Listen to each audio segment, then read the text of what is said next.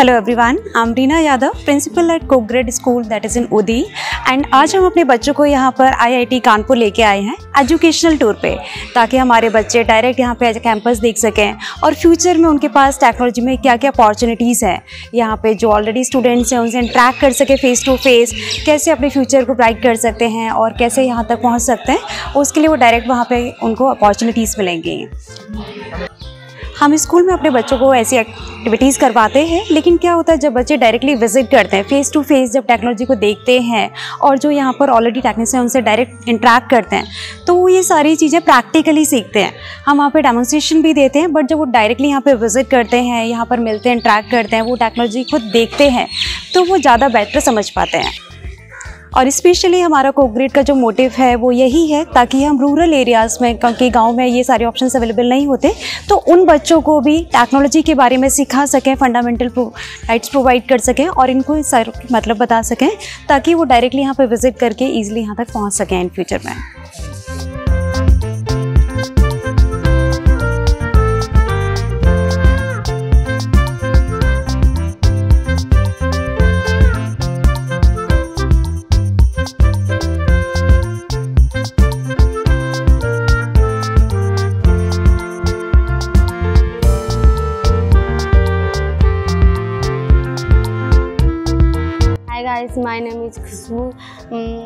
My school's name Shri एचन Singh public school Giror Mainpuri.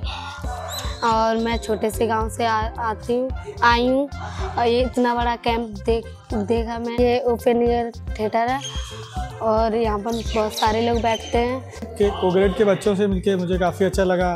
फिर हम लोगों ने आई टी कानपुर का टूर किया काफ़ी विज़िट किया जैसे फ़्लाइट लेबोरेटरी अकेडमिक एरिया और कुछ हॉस्टल्स में भी गए और ओ जैसे फिर जब हिमांशु भैया ने बताया कि आ, जो आ, विलेज एरिया के बच्चे हैं आ, उनको कैसे आ, उनके टैलेंट को बाहर लाना है तो सुन के काफ़ी अच्छा लगा और उन बच्चों को भी देख के वो काफ़ी एक्साइटेड थे।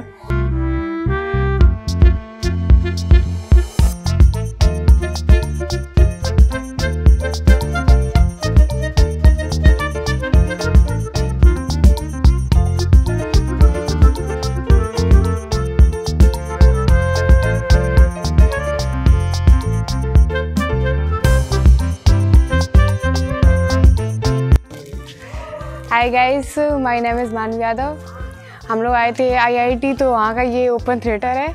यहाँ पे मूवीज़ वगैरह चलती हैं और जैसे कोई फ़ेमस फेस्टिवल हो तो हम लोग यहीं पे दिखाते वगैरह हैं। और फ़ेमस क्रिकेट वगैरह चले तो वो भी यहीं पे होता है सब कुछ। और जैसे कि इसकी कैपेसिटी है, ढाई हज़ार बच्चे यहाँ एक साथ बैठ के कोई शो वगैरह, कोई फ़ेमस मूवी वगैरह चले तो सब देख सकते हैं यहाँ पे बैठ के।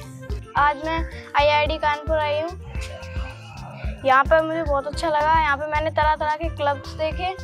यहाँ यहाँ पे मैंने देखा कि बहुत सारे बच्चे अपने आप ही खुद सीखते हैं।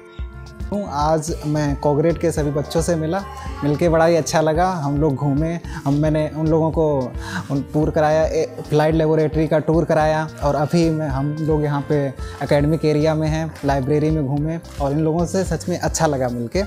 हम देव है, मैं कॉग्रेट स्कूल में पढ़ता हूँ, मैं आईआईटी कानपुर में एयर स्ट्रीम में मैंने बहुत सारे प्लान देखे और मैंने बहुत सारी लैब देखी।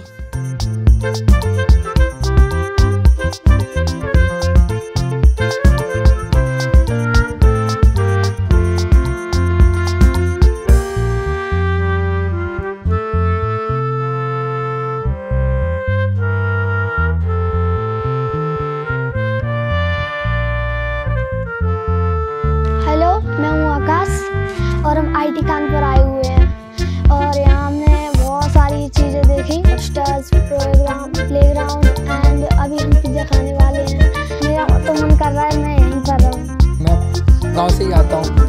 तो वहाँ पे बहुत ही मुश्किल होता है इस तरह IIT देखना भी मुश्किल होता है। वो लोग आईआईटी लेके आए बच्चों को। वो वो बहुत ही अच्छा लगा मुझे उनको, उनसे मिल के और ये ज़रूरी भी है मतलब वो देखेंगे तो थोड़ा मोटिवेट होंगे। बच्चे हैं इन्हें दिखाने के लिए, इन्हें एक्सप्लोजर एक दिखा रहे हैं कि आईआईटी जाकर क्या क्या तुम्हें सीखने को मिलेगा। तो ये काफ़ी अच्छा ही बात है, यहाँ पे लाए तो ये अभी से इसके लिए इन्हें इंटरेस्ट जगेगा और ये आगे जाके यहाँ आने के लिए पूरी कोशिश करेंगे, मेहनत करेंगे। Thank you